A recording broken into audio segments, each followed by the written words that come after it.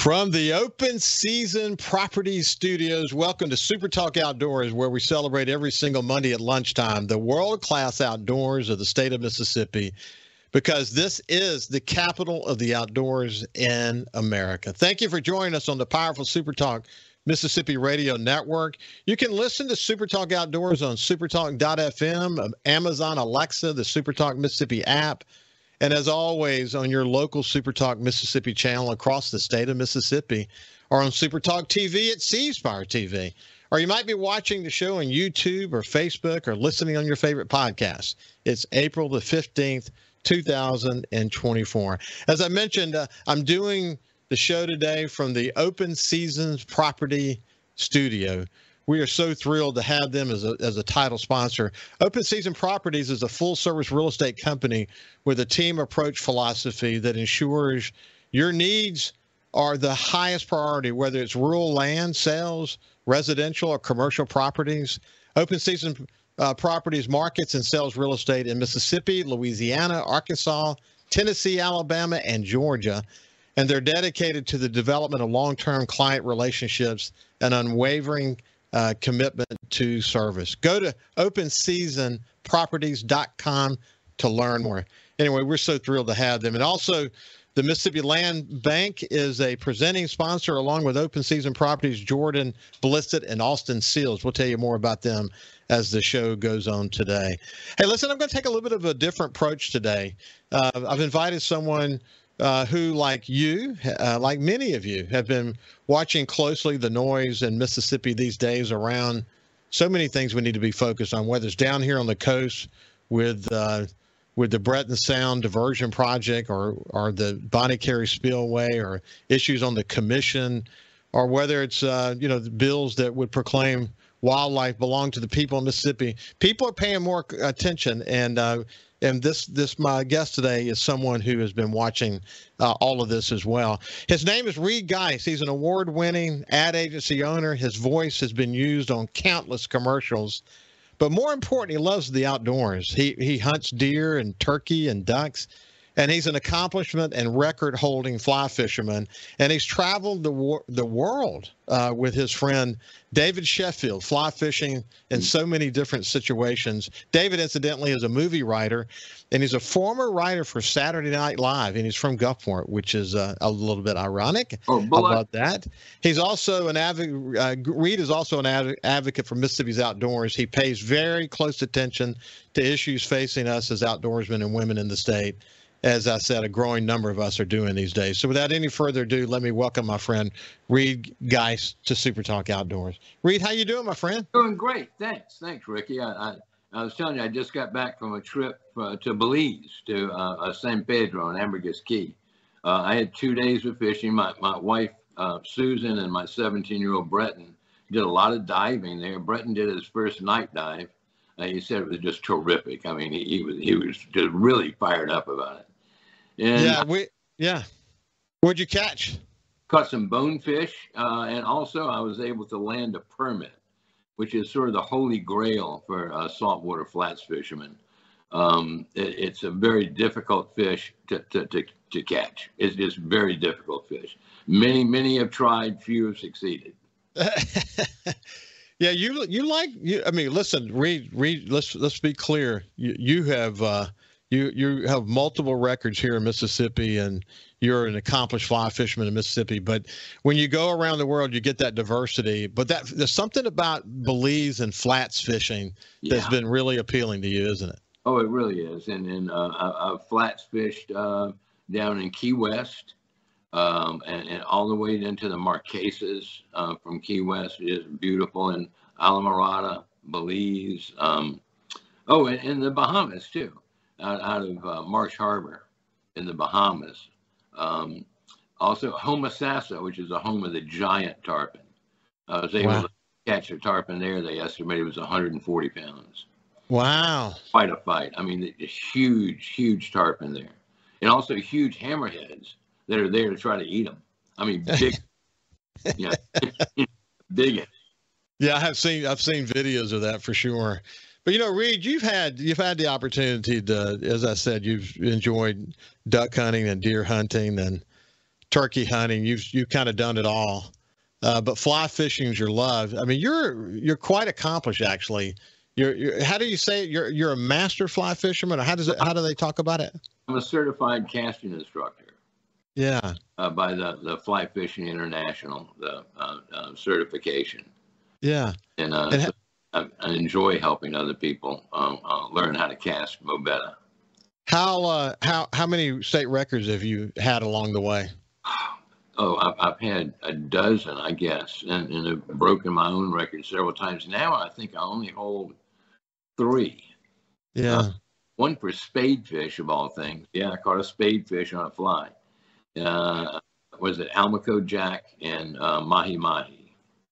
Yeah, well, that, those are those are good ones. My son Jordan, I think, still holds the record for hard hardhead catfish. remember, uh, I remember when he set the record for bonito. Yeah, on a fly rod. Yeah. Fly rod. Yeah, and then let's see, he's got several other records, but not on fly rods. But uh, yeah, it's a it's fun it's a fun pursuit when you're out there and you and you keep that fly rod nearby. You have an opportunity to break a record, man. It's a lot of fun to go after them, isn't it? Oh, it is. It's a ball, really is.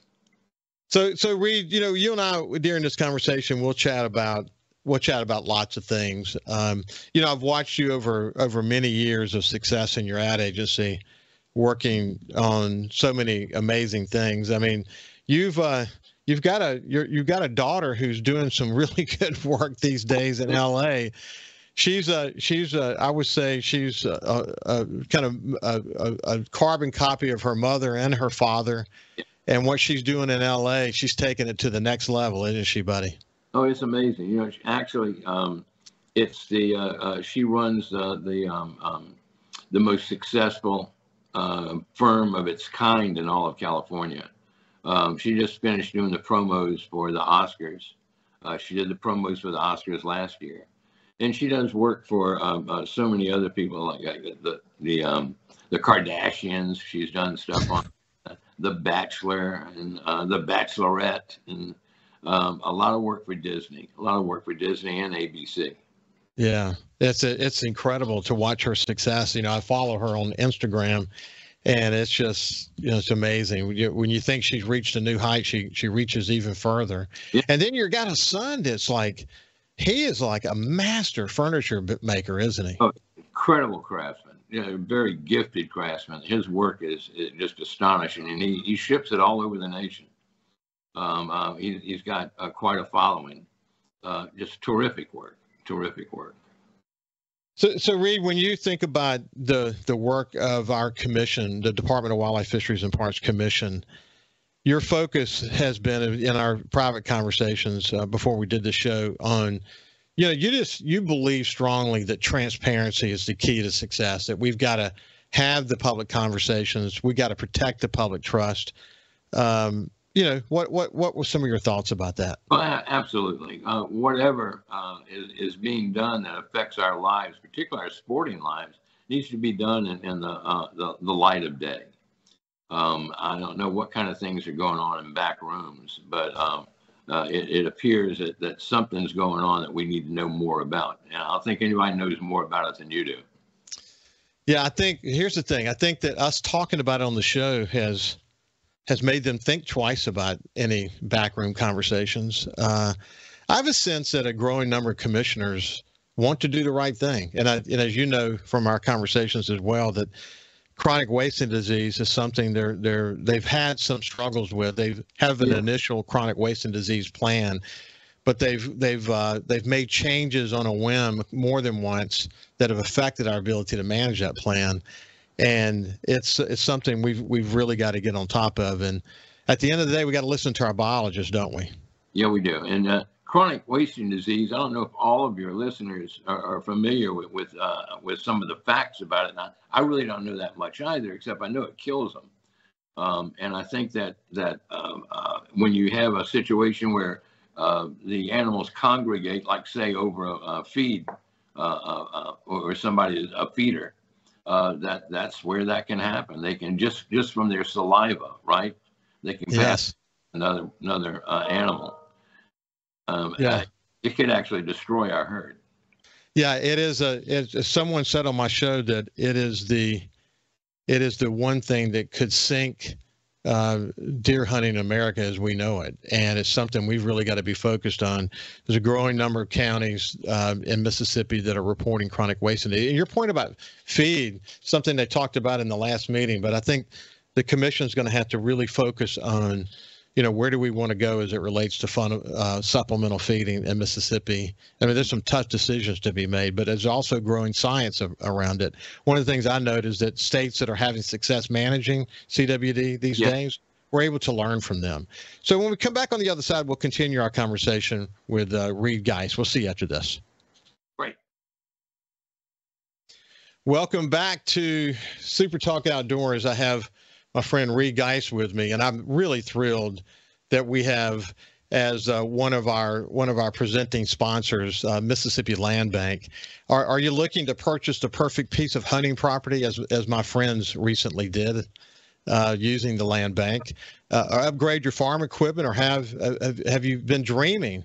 Of owning your slice of heaven out in the country, look no further than Mississippi Land Bank for your financing needs. For more than 100 years, uh, farming families and landowners in North Mississippi have turned to Mississippi Land Bank for all kinds of financial solutions, whether it's for land, equipment, or livestock. For more information, visit mslandbank.com or go by and see one of their friendly staff at any of their offices across the state of Mississippi.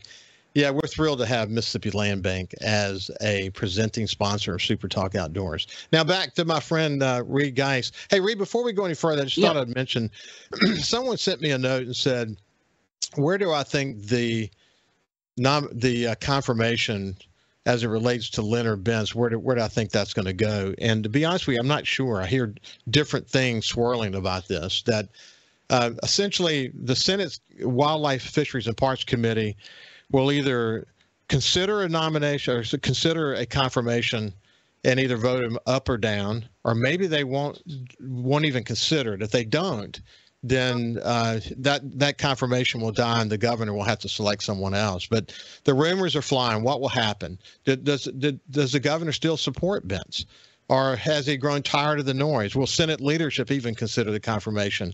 Or just let it by, die, as I mentioned. What will come of the baiting investigation? That is a case, as I've mentioned already uh, uh, on shows past, that's still open. It's still open today. That, that investigation is ongoing. Uh, it's rumored that, that one or more commissioners are waiting for the outcome of this. I think some are even questioning whether they stay on the commission or not. And I'm sure that there are some employees who wonder as well. I think, you know, the thought of five more years of the noise and disruption is something that people are really, really concerned about. So when is enough enough? The question, the answer to the question, I'm not sure, but we will find out in the next couple of weeks as the Senate uh, Wildlife, Fisheries, and Parks Commission kind of takes this up. So, so Reed, coming back to you. Yeah. You know, um, so you know we'll we'll stay focused on uh, here on the show. You you remember when I was at the Sun Herald, you watched uh, you watched this uh, closely, especially after Hurricane Katrina. Oh boy! As we shine the light on issues, there's something incredibly powerful about shining the light, isn't there, buddy? There is, and and uh, as I understand it, you've been um, uh, uh, shot at a, a, few times over this. Um, I, have, have, they missed so far? Well, you know what Reed is referring to is what regular listeners know about and that is there there was a pretty significant effort to uh, to to stop the funding for this show and to impact this show.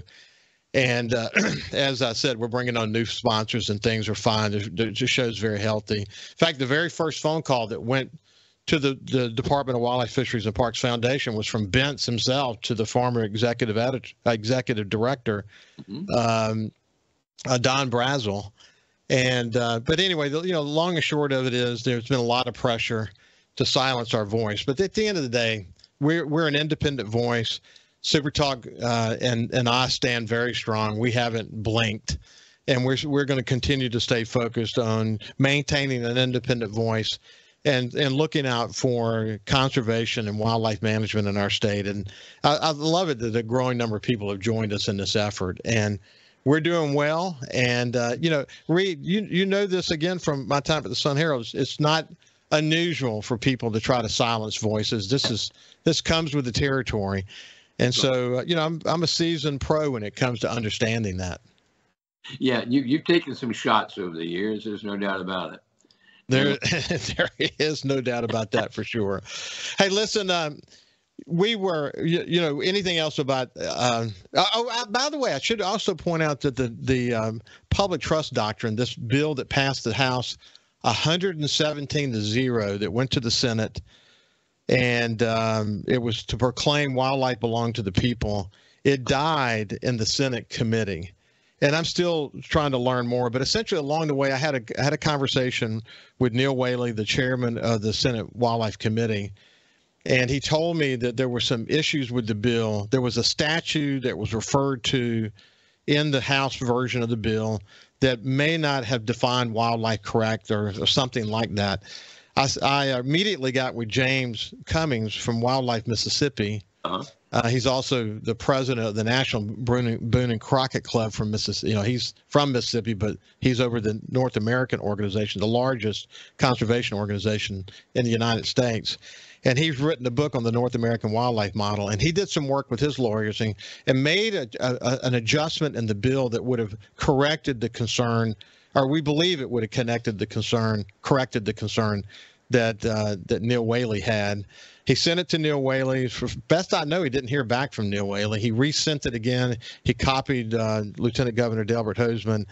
He didn't hear back from from any of them, and essentially, the bill died in committee. So we're not sure why. You know, did did deer breeders raise uh, up and say we don't want that bill to pass? Because it would essentially say that bill would have said wildlife belonged to the people, and the uh, the sale and transfer of wildlife would not be able, you know, we wouldn't be able to do that. So, uh, you know, we got a lot more to learn about it, but uh, it's extremely disappointing that a bill that came out of the House 117 to zero with that kind of support wouldn't get at least out of committee and to some kind of conference discussion between the Senate and the House to see if they could overcome the language about this. Uh, Neil Whaley told me he didn't want to pass a fluff bill that didn't do anything, and I agree with him. The bill had to do something and uh, so we still still need to learn more about why that that bill got hung up in the Senate. I mean, maybe it's because they're busy. Maybe because with all these other issues they're facing, they uh, you know that this issue just didn't rise as a priority. But I think wildlife issues in general, conservation issues, hunter and fisherman issues generally need to be given more attention. And you know, I'm I'm a little disappointed we don't have sort of the day to day uh, representation of the hunting and fishing community at the Mississippi legislature. Uh, I wonder about the legislative sportsmen's caucus. You know, what role do they play? Um, there's a lot of work I think we need to do. We can't, you know, this show, it's got to be more than me talking about it. There needs to be organizations involved because on the other side of this, let's say the deer kings or the deer breeders, they have lobbyists and we don't, you know, you know, we don't have the kind of day to day lobbying for conservation the way that I think we need it. So there's work to be done. Anyway, anything else, Reed, before we shift gears? Yeah, it's such a basic right. Um, uh, when when people came to this land here from from Europe and, and from uh, England, uh, all of the the uh, all of the game belonged to the king. I mean, or, or the royalty. Whoever, whoever is in charge, it didn't belong to the people. And, and if you took some of the king's game, you, you know, you could possibly be on. Uh, so when they come to the Americas, yes, it's a basic right that these animals belong to the people of America. Uh, they don't belong to the crown.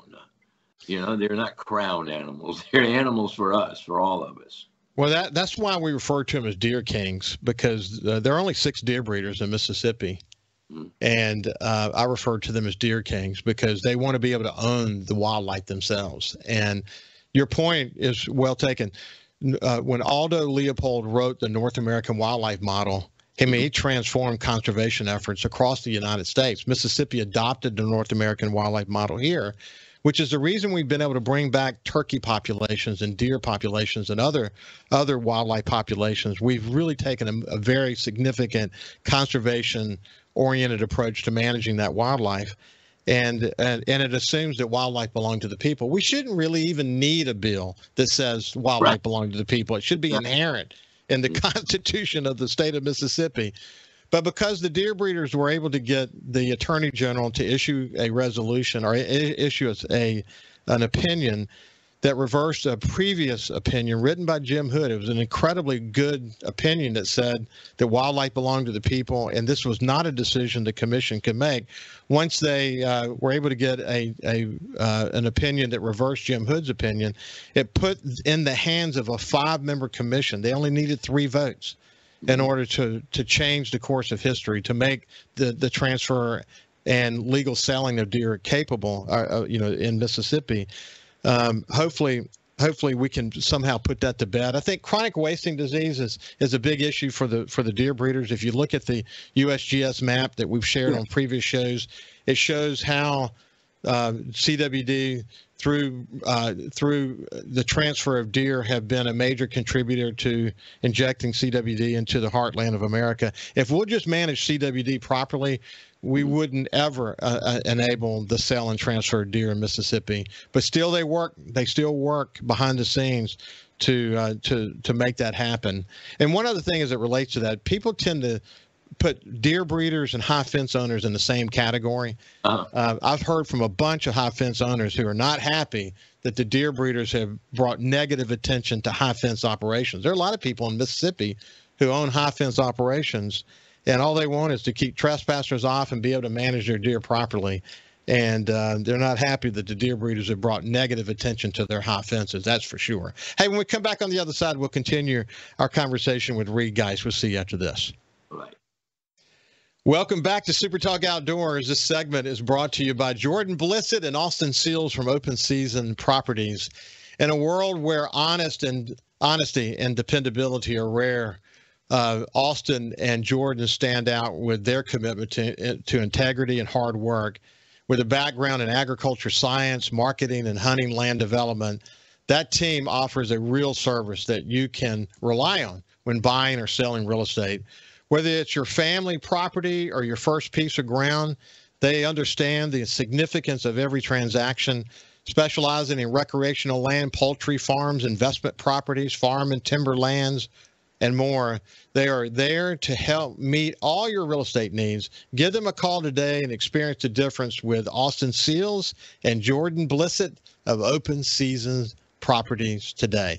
We're thrilled to have them as a, as a presenting sponsor of Super Talk Outdoors. Now let's move back over to my friend Reed Guice, sort of. Uh, he's been all over the world fly fishing, holds a bunch of state records in Mississippi. He's just an outdoorsman who uh, who watches what's going on in our state and someone I, I, I really look forward to having this conversation with today.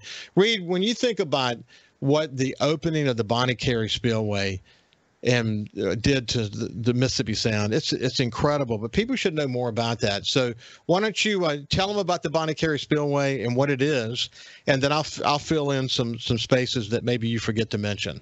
Sure. Yeah. When the Mississippi River uh, exceeds uh, 125 million cubic feet per second, they open the Bonnet Carré Spillway. In the past, they've never had to think about us over here. Well, I'll tell you what it did in 2019 destroyed our oyster reefs. It, uh, it, killed so many marine mammals and turtles. The, the sight of those dead animals and dying animals uh, is seared into my brain. Um, I saw some of these turtles during that, that time period. And uh, out in Curlew, saw a, an animal die, saw a, a, a bottlenose dolphin dying. It just um, uh, it, it seared, it's, as I said, it seared my soul to see something like that. You know, until now, they've never had, the Corps of Engineers has never had to think about what it does to the Mississippi Sound.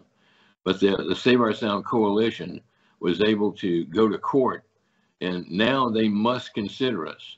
Now, I, I don't know if they're going to consider us and say, okay, we considered you, we're opening it up again anyhow, but they must consider us.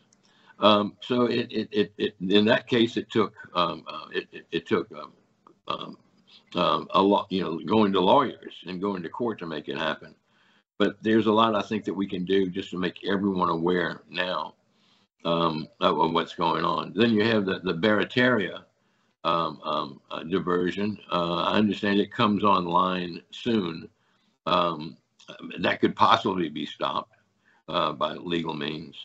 Um, it's just it could destroy our way of life down here. When you, you when you hear the sound of oysters being dropped on the. Um, go ahead, go ahead, Ray. We can hear you. Okay, uh, when you hear the sound of empty oysters, and what that clunk, uh, and then those oyster reefs in Pan haven't come back. Um, uh, you know, it's, it's, interesting that that um, we talk also about the Breton the Sound diversion down down there. Um, that's going to go into Breton Sound Chandeleur. That's going to be dumping water day in and day out, 24 7. They call it fresh water. It's not. It's just water with no salt that comes from the Mississippi River.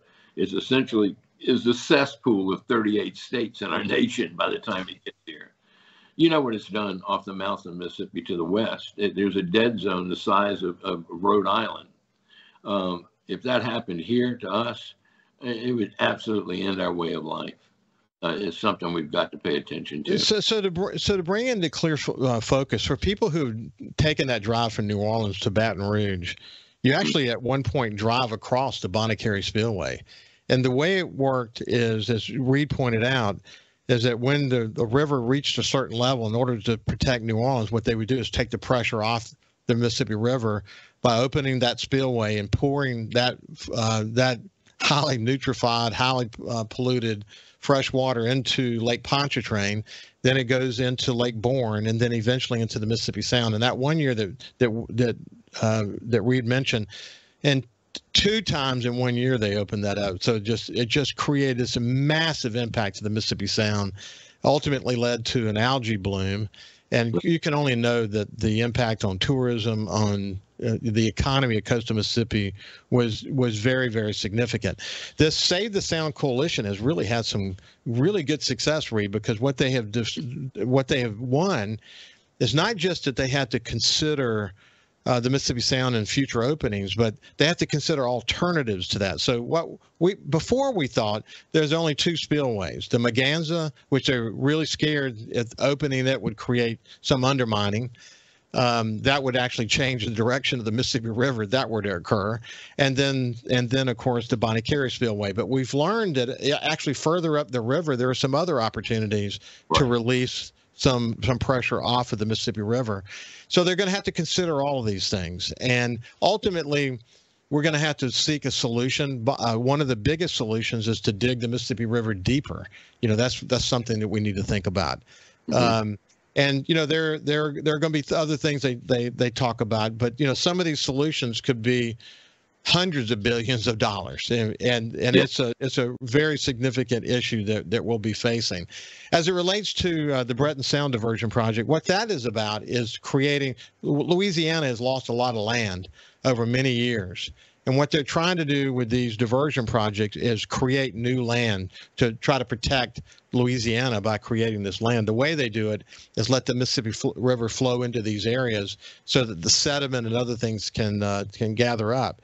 But what it means for us that enjoy fishing uh, the Chandeleur Islands, the Breton Sound especially, and the oil rigs in, in that general vicinity uh, what will happen there will be exactly what what we experienced after the the Bonnet Carré was open in, in, in the Mississippi Sound would be that the saltwater species in those areas will be just literally wiped out, and you know it you know if it, it ends up impacting all of Chandeleur, can you imagine what that means to to our ability to enjoy that as this incredible natural resource off the coast of Mississippi? Uh, it's hard to get your head around, isn't it? It really is, and and you know this would also uh, uh, goes into Delacroix, all those places that we fish in South Louisiana, to destroy them, and and again, it's not it's not fresh water; it's just water that doesn't have salt in it. That's some filthy, filthy stuff. Yeah, uh, and you know those areas we depend on those areas uh, for uh, uh, nurseries, you know, for our shrimp and our fish. We we have to have those areas, and and this would I guess we would have to destroy the the uh, the marsh to save the marsh. Come on, you know it doesn't make sense to me. Uh, you know they're going to spend like over uh, already. They've spent over a hundred million dollars looking at this diversion down there in, in Breton Sound. Um, Restore Act money. Yeah, they spent thirty million of Restore Act funds to um, save our um, our oysters here after the BP spill then of course you know this would kill it again you know so spending money it, it, it doesn't make sense. It just doesn't make sense. Well, you think about listen, Reed. Um, for people people who fish down here, they they can appreciate this, but you, if you have the coast of Mississippi and then off the coast you have our Barrier Islands, of course, uh, Dauphin Island over in Alabama, and then you get to Petit Bois and then Horn and then Ship and then Cat. And Cat actually almost butts up against Louisiana Marsh. And if you follow the Louisiana Marsh down, think of Cat as sort of being the northern portion of this, and then to the west you have the Louisiana Marsh. As you go further south, then sort of the the outer barrier, the eastern barrier is the Chandeleur Islands, and in between all of those areas are some of the best fishing in the world for speckled trout and redfish and whatever else. These are the areas that are going to be impacted by uh, these diversion projects. And um, you know, this is they're barreling ahead, Reed. You know, I hope that something can be done to, to slow it down so we can think more about this. It may take legal action, um, uh, but it, it something has to happen all of that marshland again that, that we wouldn't have shrimp anymore if they kill all that. Shrimp would be gone. Uh, yeah. all the oysters would be gone. And in louisiana louisiana oysters will be gone. Yeah. Um, pretty soon uh, and, and then if we start getting the algae blooms tourism dies. Um, it, it, literally will, will, destroy our way of life. Yeah. Well we uh, we've got a lot to think about as it re- uh, as it relates to that, and let's hope that the the Save the Sound Coalition and and their efforts will stay focused on it. Uh, they've been on my other show, uh, the Ricky Mathews show, talking about it. I think that Gerald Blessey and the team that surrounds him, and of course Moby Solangi from the Marine Mammal Institute, those guys are all all in. And you know what's interesting? I mean, the counties and cities have all contributed to this effort, and the states involved. And uh, I think people generally understand that if we don't go at this in an organized way, we could be we could be impacted in a, in a great way. Hey, when we come back on the other side, we're going to talk just a little bit about as we barrel towards summer. Some great fishing in Mississippi. Let's talk about what Reed likes to do the most of as it relates to Mississippi. We'll see you after this break. From the open season property studio, welcome back to Super Talk Outdoors as we continue to visit with my friend Reed Guice who uh, made a made a long career as a marketing executive, ad agency owner, still do, does work today, and uh, he's he's been literally all over the world fly fishing. He just loves the outdoors. Hey, Reed, when you think about summer approaching, uh-huh. what's some of the things you look most forward to as it relates to fishing in South Mississippi? Well, you know, I, one thing I love to do is wade on the barrier islands and uh, sight cast to those big redfish. And and, and the black drum, you know, black drum will not eat a fly. It's hard to get them to eat a fly. If you really catch a, a black drum, wow, you know, that's a big deal around here to catch a black drum on a fly. But the redfish, uh, I just just love getting out there amongst them and being with them right there in the water. Of course, uh, the triple tail will be coming in soon, and that's something I love to target, particularly with the fly rod. You know, if you see that that fish laying up next to a, a buoy, and uh, it cast a little bit behind him. Don't don't get the line. No, don't catch the line. and bring that past their nose. They're gonna eat, and they fight like a well, they fight like you know eight pound bluegill. They do. The time, Imagine that. Bluegill. Yeah, if these bluegill any bigger, you couldn't catch them. Well, that's what triple tail are. Giant, giant bluegill. They're so much fun. And we got cobia coming too, you know, and um, I like to get when we go out there snapper fishing, if we're chumming, um, then you know many times a uh, cobia will come up to the boat, and again they love a fly. They'll eat a fly in a second. Yeah, I love doing all those things. Uh, one of the things as it relates to redfish, you have to have a boat to do this. Of course, you have to have a boat in most cases to get to the Barrier Islands. But the the reality is when you get find the schooling redfish, when when the school try to describe the mayhem of acres of schooling redfish. Oh my gosh! And so uh, you you see a school, you try to catch uh, cast towards the first one. Uh, you don't want to cast in the middle because it might freak them out. But as soon as you hook that fish, yeah, everything just breaks loose, as they say. And uh, the other fish will spend a lot of time trying to take away, take it away from him. You know, you got something good to eat, I want it. They're sitting there following him right by the mouth, trying to get another. In fact, many times that'll be a technique. I'll be out there with my, my brother or someone. We'll be out there fly fishing, and okay, I got one here. One's following it, and you, the other person catches the one following it. You get rid of yours, and whoa, there's one following that one. Um, you can do that for maybe a half hour uh, or an hour or so before they you really wise up. Man, that's fun. Absolutely, absolutely crazy. Um, and then, of course, when you get to a go to an oil rig, uh, as soon as the water starts heating up, there's a wide variety of stuff that you can be in, be engaged in, isn't there? Oh, exactly. Um, uh, uh, for example, the the uh, mangrove snapper uh, and mutton snapper, you know, that hang out there. Yeah, they're difficult to catch, but they'll take a fly. They'll take a fly on on uh, if, as long as it's dropping at the same same level as, as the chum you throw out there. as long as it seems real, they'll eat it. Yeah, Reed, it is a it is with summer coming, so much to look forward to. I I just love it, and of course, you know the backwater fishing, of coastal Mississippi, uh, up until this most recent rain, some of the, the salinity levels were up there, and we were catching specks and redfish and big flounder.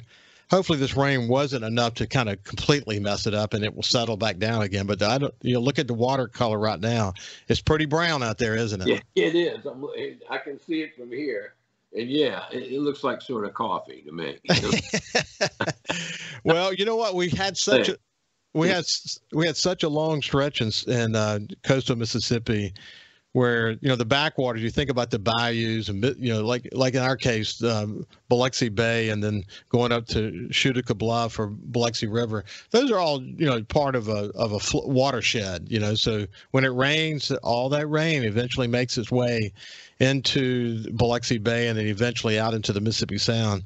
We've been really really lucky the last couple of years with you know not having to deal with too much rain. And years before that there was so much fresh water in um, in Back Bay, there was hardly any uh, any bait fish, and if you don't have bait fish, you're not going to have other fish. So it's we've a little bit spoiled the last year or so, haven't we been? Yeah, you know, I keep I keep lights on my pier, and uh, in the times you're talking about, it was nothing was there, nothing. I'd go out there at night with my fly rod and catch and release speckled trout. Almost all of them are too small um, off the pier, but um, uh, that's a lot of fun too. And I miss them when they're not there, when there's too much rain.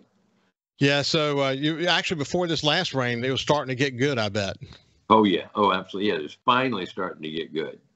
And, uh, but boy, this storm that came through, man, oh man.